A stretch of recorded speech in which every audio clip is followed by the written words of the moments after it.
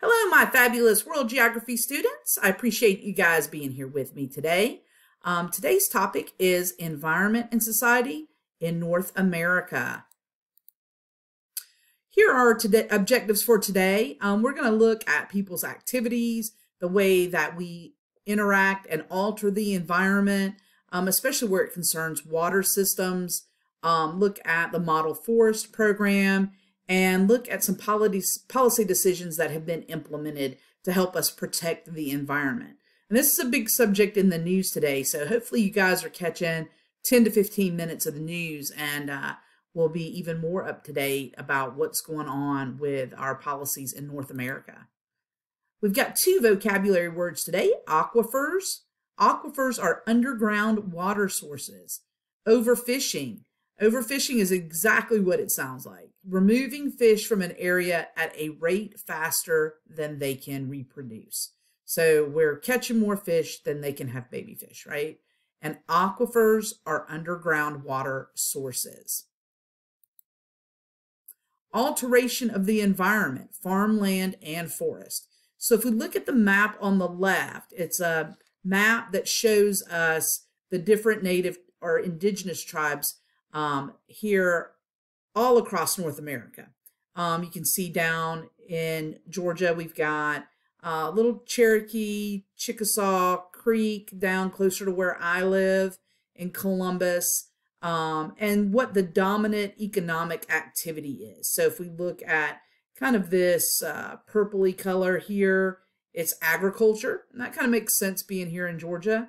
Um, throughout uh, the what we call like the Midwest, up through all the way through northern Canada and up at the very point of Greenland here, where the Inuit people make up a good portion of Greenland's um, population there, it was hunting.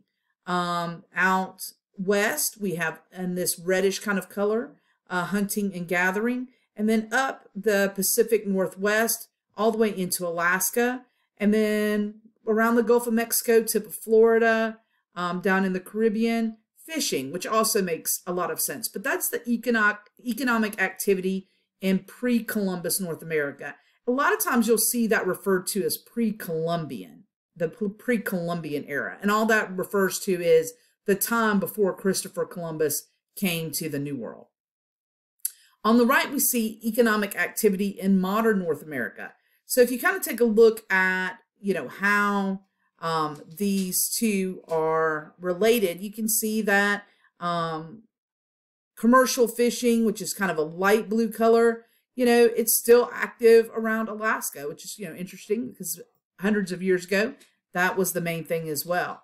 Um, but now we also have um, forestry, livestock raising, some commercial fishing, um, a little subsistence farming, but um, forestry is a big, a big one now um, actually cutting down the trees. We talked a lot about that in the lesson before in Unit 7, Lesson 1, um, about deforestation and the impact.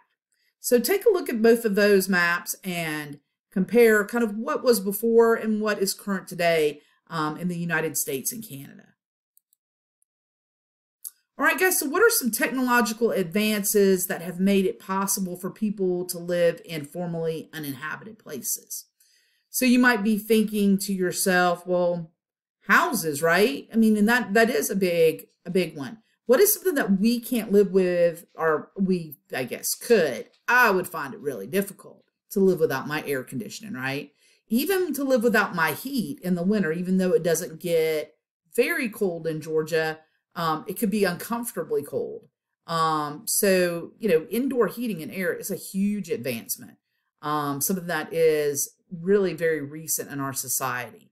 Um, when we think about people that live in um, Upper Canada, Alaska, um, you know, definitely the insulation and the dwellings. Um, so there are a lot of those. So just think to yourself, what might be some technological advances that have made it possible for us to live where before it would not have been a possibility. Uh, transportation systems. Um, they have really helped us to easily travel to places such as mountaintop communities, um, tunnels and bridges. Uh, more modern agricultural practices allow us to irrigate the desert. Um, and remember when we said irrigate, that means basically to bring water to, right? Um, because without water, we can't have life. And you can look and see at the picture of the guy at the bottom there um, running an irrigation tube where they're growing food in what looks like an extremely dry kind of desert region. Um, but all these technological advances, you know, to cross over a mountain um, 150 years ago would have taken, you know, a, a lot of time um, before they were blowing up through mountains to create passes or underground tunnels through the mountains, whatever it might be. If you had to go over a mountain as opposed to through it, it took a lot more time and could be a lot more dangerous to do so. Um, when we think about islands, if you've ever been over to the coast of Georgia, um, you might have had to take a bridge to go one of the islands. Um, before that, you would have had to like go on a little boat out. So a lot of things that we've seen in the past couple hundred of years and technological advances have, have drastically changed our world and the way that we relate to each other and that we can reach each other.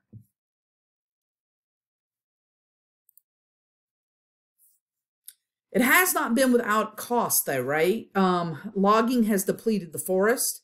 Um, grasslands have been converted to farms, causing soil erosion.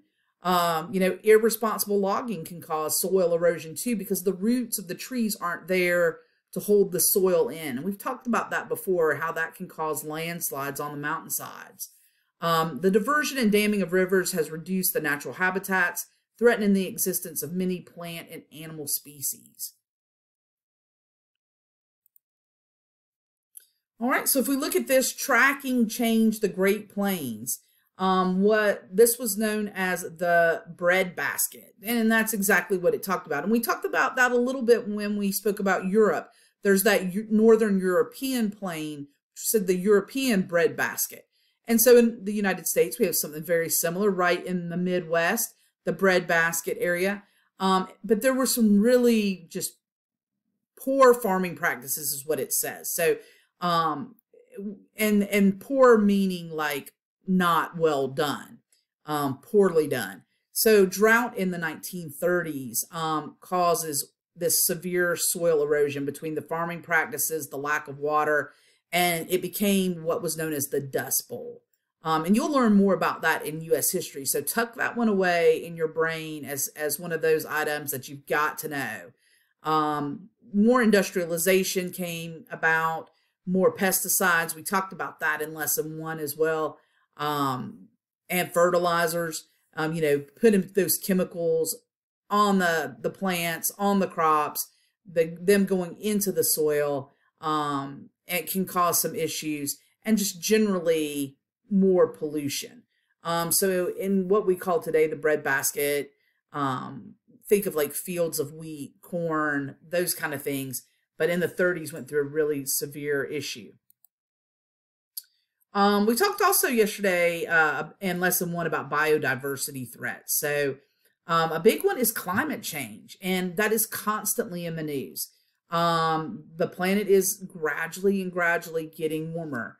Um, logging is a definite issue um, in North America. Without responsible deforestation and replanting, um, you know, we continue to to cause more and more issues.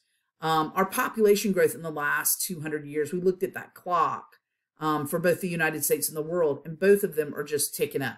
The United States much more slowly than the world population, but still it is growing.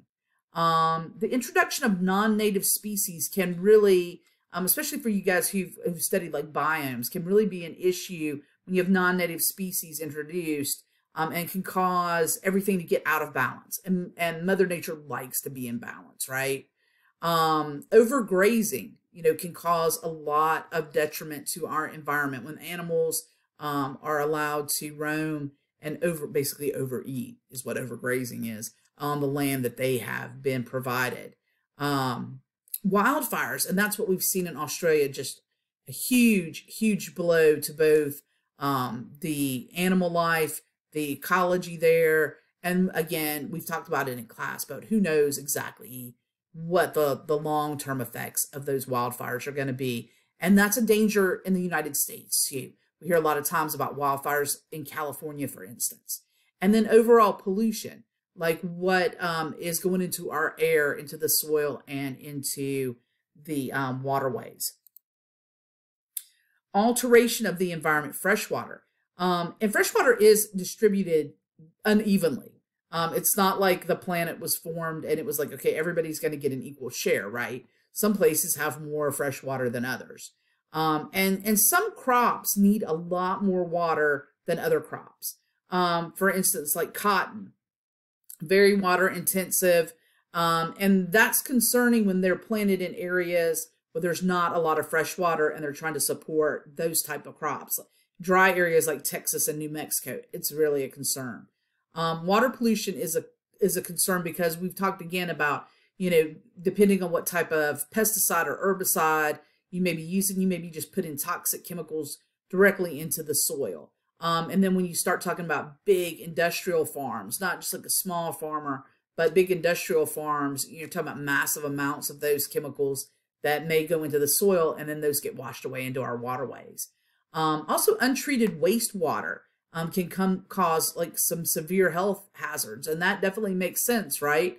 If uh, bad water is leaking out of the pipes in our city and going into uh, waterways, it can definitely uh, nobody wants untreated wastewater, aka sewage.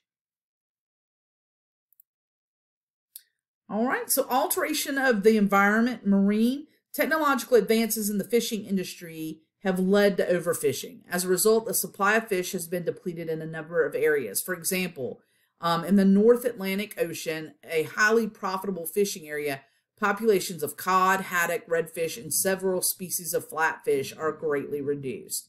Um, in the Pacific, the supply of salmon is in danger. In the Columbia River Basin, the salmon population has declined as much as 80%. And that is a huge portion of, uh, of a population of a species. Um, if we look at the pictures here, there are more and bigger fishing vessels than ever before. Um, the biggest vessels catch 65% of all the fish, but they only employ 4% of the fishermen. Um, so that's a big, big diff, you know, huge boats, not a lot of people to man those.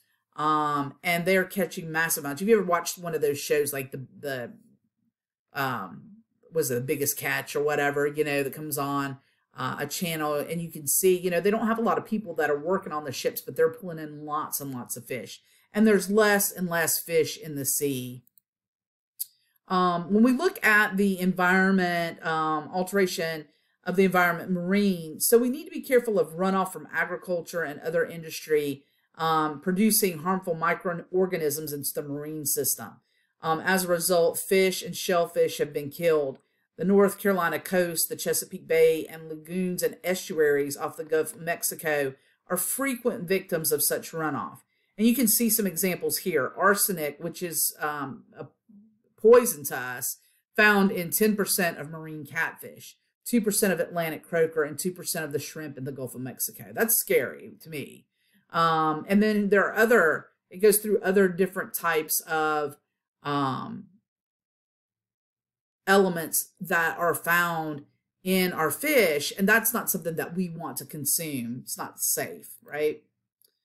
So here's some really interesting pictures. I got, want you guys to take a minute, you know, pause the video, look over how dead zones occur, um, how dead zones are set up, um, really kind of look through some of this. Here's the Exxon Valdez oil spill. Huge, massive damage you can see in that top right picture where the oil is just, it almost looks like a beach, right? It's just caked of oil. Um, you probably have seen with oil spills before um, where they've had to take the Dawn and clean all the animals. Um, here's some um, different links for you guys to find some more information. You know, I always want you guys to look at things um, on your own. There's uh, the EPA website. Uh, you know, uh, you can find these in the slides that are in the Canvas module. Um, fixing the forest. Uh, make sure you guys know the International Model Forest Program started in 1992 in Canada, designed to implement sustainability in forest management. Um, they're real life laboratories. So take a moment, make sure you make a note of that. Um, here is our review slides and my 15 minutes of fame are up, guys. Thanks so much for being with me and I'll see you soon. Have a great day.